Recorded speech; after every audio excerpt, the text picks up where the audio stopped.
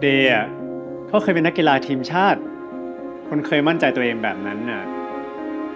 พอต้องมาเป็นแบบนี้ ใครมันจะกล้าไปข้างนอก เขาไม่ได้กลัวสะดุดล้มนะเว้ย แต่เขากลัวสายตาที่คนอื่นมองมากกว่า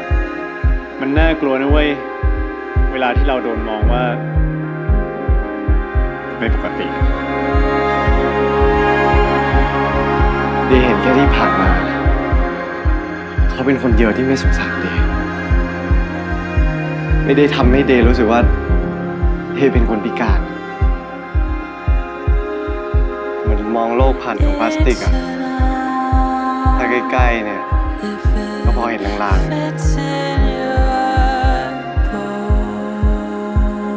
ไม่อยากรู้เหรอว่าหน้าผมเป็น